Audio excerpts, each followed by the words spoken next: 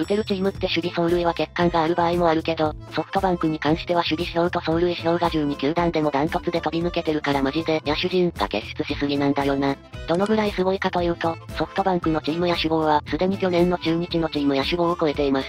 今年一番おもろいネタや、去年の中日野手陣の棒をたったの20試合くらいで超えるとか、去年の中日逆に凄すぎるわ。今年のソフバンがすごいのか去年の中日がすごいのか、どっちかわからんくなってきた。まだ4月やぞ。これってバンクがすごいのと中日がしょぼすぎるのどっちが異次元なんや。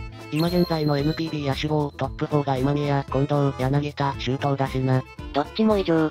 中日のがすごくて草。さらっととんでもないこと言ってるわ。派手にやべえな両方。これはチュニドラが悪い。ソフトバンクが最後まで突き抜けそうだなって気はする。ソフバン強えからな勝率7割とかすごすぎ。今年の中日ここから巻き返しできる？支給を選ぶ、バント、盗塁などコツコツ点を積み重ねていくのも大事なんよ。そこそこ打ててた三好を変えて、全く打てない岡林を入れたことで流れが止まってしまった。棒だけでなく単打リーグ最多、支給リーグ5位、二塁打本塁打 OPS リーグ6位、去年と全く変わってないね。ベンチから指示出てるのか、最近は支給取れないし早打ち多いんだよな。立浪監督の名采配、謎起用、リクエスト成功率の低さとか驚きはない。